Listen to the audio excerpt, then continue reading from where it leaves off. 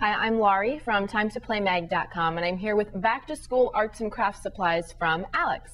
For preschoolers, there is the 30 finger crayon set. These are sized for little hands so that kids can hold them in their palm or place them on their fingertips and color.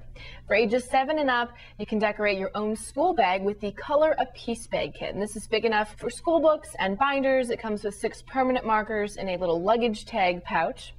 My art pad has 32 sheets of construction paper and 80 sheets of plain white paper so the kids three and up can doodle at home or on the go.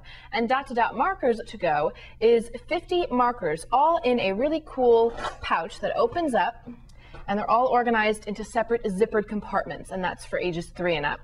And then the Super Art Studio has 150 pieces in this aluminum case. Crayons, markers, color pencils, scissors, you name it, it's in there. And it's for ages four and up. And each item is just a really great way for kids to get creative both in the classroom and at home. And if you want to find out more information on these items, such as how much they cost and where to buy, as well as the other great back to school items, then come visit timetoplaymag.com, your number one source for all things play.